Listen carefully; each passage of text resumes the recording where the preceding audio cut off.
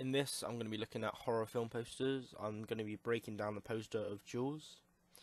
As you all know, this poster is very iconic. Um, before the film was even released, this poster was getting so much publicity, and I think that helped towards the success of the film. So there's a correlation there of if you had a good poster, more people are likely to go watch the film, which again argues that posters are not obsolete. Um, but yeah, this was very iconic for its time. Um, action showed in the poster itself, and it was it wasn't seen as much, um, and it stood out very well in, uh, in any cinema. First thing you notice is the big red title of Jaws.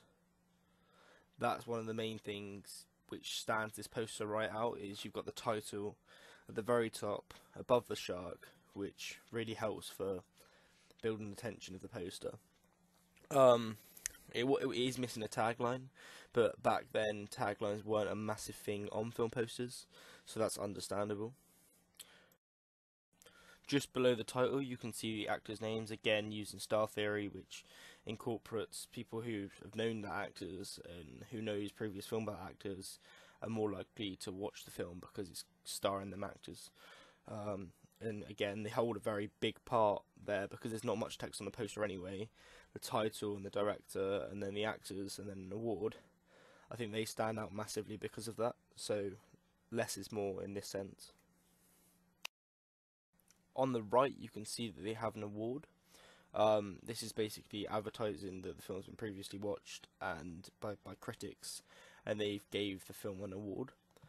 So um, a lot of short films do this if they go to short film festivals. Um, so again, this adds more of a expectation for the film, and everyone's thinking it's won an award, it must be good.